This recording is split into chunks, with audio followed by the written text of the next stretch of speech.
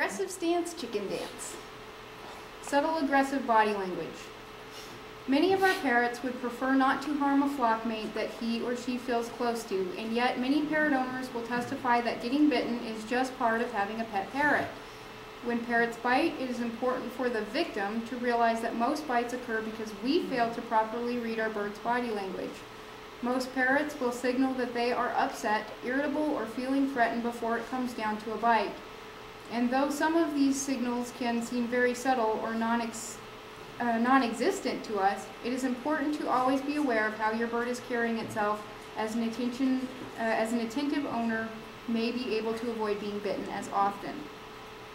We call one of these subtle signals of aggression the chicken dance because nearly all parrots will hold the shoulders of the wings out and away from the body when they are feeling threatened. This behavior may or may not be accompanied by a bird who is standing tall, nape or head feather fluffing, eye pinning, or tail fanning. Most birds will flatten the back at least partially while doing the chicken dance. A bird who is in aggressive stance like this, uh, a bird who is in an aggressive stance like this but has his head up and above the shoulder level may not yet be agitated enough to bite. That's a may, may not. when the parrot lowers his head below shoulder level, uh, concurrent with wings, with wings out and flattening back, the bird is likely preparing to strike. Mm-hmm.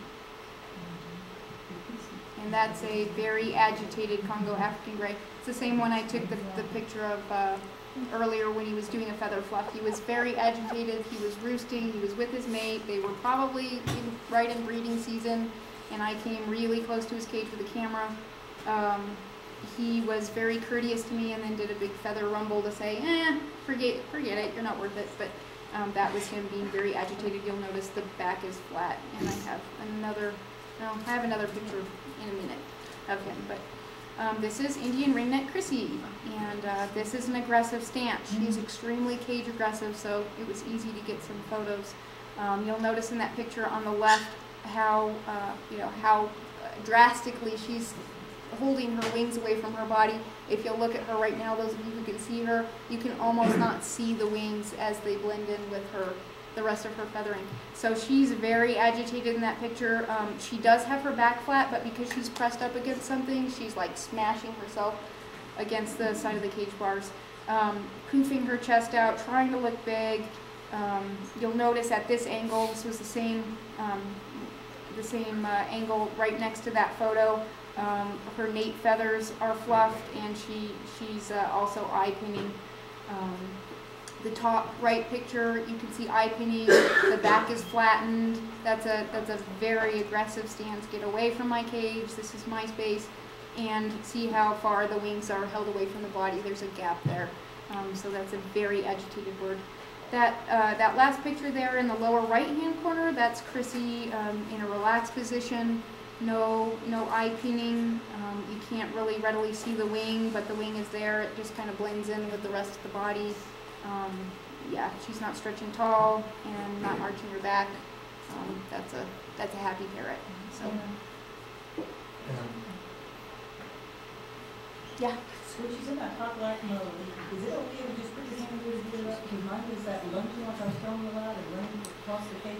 And she seems to be getting better since I've just been forcefully taking her away from it and talking to her. It gets her out. You know, cage aggressive issues are really hard to handle, but the, the thing that I can um, suggest to you, especially since you have a ring neck, um, is to respect her space for a while, at least a while. Take her out of the cage, even you know, even if you know she gets upset like that. Take her out of the cage before you change her papers before you service her cage in any way, touch her food, touch her water, take her away where she can't see it. And then every time you come to the cage, it's a happy thing. Mom's here to play with me. Mom's here to give me treats. This is awesome. Um, that will decrease the chances of her being aggressive. She may still be aggressive. I can step Chrissy up in that position. Step mm-hmm. up and she won't bite me, but I'm her mate. If anybody else tried to step her up, even when she was in that aggressive stance, uh, forget it. Yeah, you're going to get bit. So, you know, you need to know your bird, and if it's a cage aggressive bird, just minimize minimize how much you're invading her.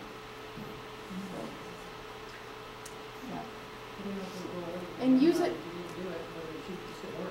Well, the problem with a cage aggressive bird is that they can't just stay in there forever. And if they're going to be aggressive, a, a really good thing to do is to stick train them so that they don't learn to bite you. Um, they know the difference. She doesn't- Oh, well, if she doesn't bite you, she's just saying like, ah, this is my cage, this is my cage. But if she's if she's if she's not biting you, even though she's getting aggressive like that, it's the same as Chrissy. She knows you're her mate. She knows you're here to pick her up, but she's still gonna let you know this is my space. This is my space. So yeah, that's okay. Anna, Yeah. do you, this way, Hi. do you have any pictures of that wonderful stretching behavior they do when they wake up?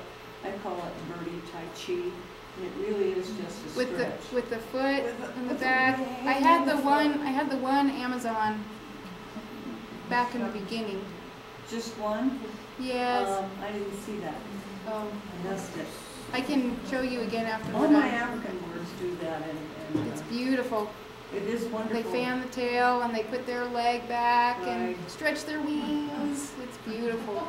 I think it is birdie tai chi, you know, it's just kind of It getting is. their minds back into the day. Absolutely. I believe that because parrots are really in tune with their body and their their feelings and what their body says is usually kind of what their feelings say. So, yeah. Okay. Oh, there's that African gray again. In that uh, in that first picture, he's saying, "Get away from my nest, my mate." The mate, you can see the mate back there in the in the background. Um, that's my mate. Get away. Um, second picture, starting to let it go. He's in the middle of a feather rumble. Um, still looks really poofed up, but uh, if, if you were there in person, you would note that in the first picture where he's got his back flat, his wings out, everything's fluffed up, he was standing stiff as a board still like that. Um, in the second photo, he's like shaking it off, and it's a quick movement, and then he'll slick his feathers down again.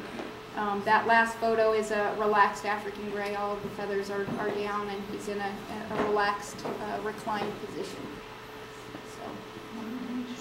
The, the photo there on the lower left, um, that's an aggressive Benny Bat too. He, he, uh, was very upset with me. I had a cockatiel on my shoulder, and he's scared to death of cockatiels, very threatened by them. So, yes, horrible, mean cockatiels. And so he's got his wings out there doing the chicken dance, and he, he's one of those birds again that fluffs all of the feathers out. Um, that middle photo there, he's doing the feather rumble and, and getting rid of the anxiety, and um, then he moves on to, to play with some food. So you'll notice in that last picture that all of his feathers are, are slicked back down. That's a that's a resting position uh, position for most cockatoos. Um, that's just a, a playful, I'm here and I'm happy position. You'll notice that the wings are back flush with the body and not poofed way out. More more aggressive birdies. Um, upper left-hand corner, this is, again, blue and gold macaw Sydney. She's a very good example of uh, overstimulated and uh, aggressive birdies. She's got her wings out. She's standing real tall in that photo. Um, she's got her back partially flattened, and uh, she thinks she's real tough. Um, the photo of the Amazon uh, right next to her, he's fluffing his nape. Now that particular Amazon, that's all he did when he when he was aggressive. He just fluffed the nape. He rarely ever fluffed the, the wings out. He's, he was kind of an exception.